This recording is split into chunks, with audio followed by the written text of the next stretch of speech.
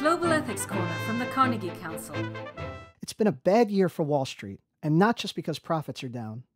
The corporate world's role in the global financial meltdown has branded Wall Street an icon of corruption and greed. The Occupy movement's persistence has accentuated the banking world's troubles, but the most significant blow to Wall Street came just this past week with the resignation of Greg Smith, a former executive at Goldman Sachs. In a controversial op ed published in the New York Times, Smith delivered a stinging rebuke of a business culture he calls toxic and destructive. After a 12 year career at Goldman Sachs, Smith says he resigned to a decline in the firm's moral fiber.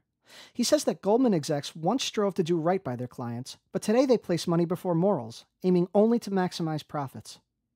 Goldman Sachs has denied Smith's allegations, but Smith's departure has raised new doubts about the ethics of finance.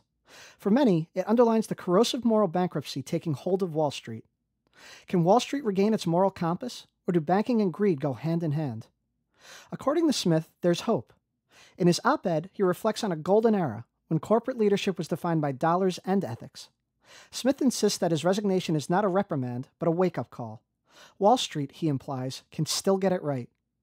Today's aspiring leaders may not see it that way, Rumors are rife that Wall Street is facing a recruiting crisis, in part because many students don't believe that ethics and finance can be bridged in the current climate. What do you think? Can banks be ethical? Is there hope for Wall Street? Marlena Sperry wrote this week's Global Ethics Corner. I'm Terence Hurley of Carnegie Council. Made possible by the Carnegie Council for Ethics in International Affairs. Post a comment at www.carnegiecouncil.org.